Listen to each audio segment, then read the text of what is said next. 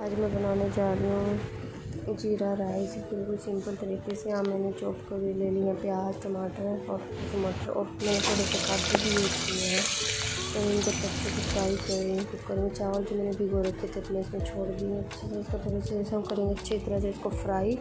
Fry करने के बाद मैंने डाल दिए इसमें नमक और मैंने डाल दिया राइस मसाला भी अच्छी तरह से। इसको थोड़ी देर में हिला के उसके बाद में पानी छोड़ दिया फिर मैं कुकर का लगा दूँगी ढक्कन ताकि हमारी राइस बनकर हो जाए रेडी। और हमारे राइस बनकर हो गए रेडी। देखो कितने खिले खिले राइस बिल्कुल सिंपल तरीके से मैंने बनाया।